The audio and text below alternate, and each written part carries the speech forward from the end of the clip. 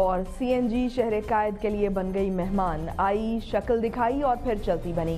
کراچی میں سی این جی سٹیشنز آٹھ گھنٹے کے لیے کھلنے کے بعد ایک بار پھر سے غیر معینہ مدت کے لیے بند ہو گئے۔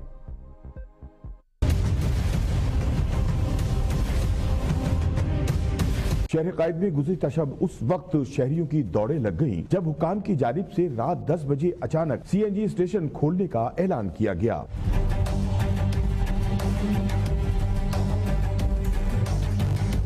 اس اعلان کے ساتھ ہی شہر بھر کے سی این جی اسٹیشن پر گاڑیوں، بسوں اور رکشوں کی لمبی قطاریں لگ گئیں۔ سخت سردی کے باوجود اپنی باری کا انتظار کرنے والے شہریوں کا اسٹیشن پر گیس کا کم پریشر ملنے کے سبب پارا گرم نظر آیا۔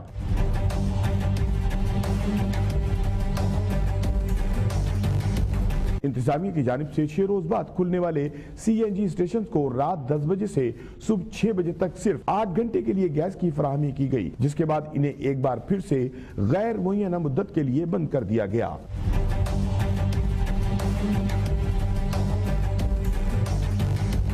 سوئی سردن گیس انتظامیہ کا کہنا ہے کہ گیس پریشر میں کمی کی وجہ سے سی این جی اسٹیشنز کو گیس کی فراہمی روک دی جاتی ہے اور اب دوبارہ سی اسٹیشنز کھولنے کا اعلان گیس پریشر کو دیکھتے ہوئے کیا جائے گا۔